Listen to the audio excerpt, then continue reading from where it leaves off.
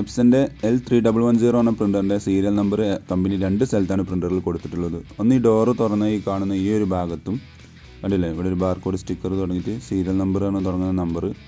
അതൊന്ന് പിന്നെ പ്രിന്ററിന്റെ ഇത് താഴെ ഭാഗത്ത് ആ കാണുന്ന ഇങ്ങനെ രണ്ട് സ്ഥലത്താണ് കമ്പനി സീരിയൽ നമ്പർ മെൻഷൻ ചെയ്തിട്ടുള്ളത്.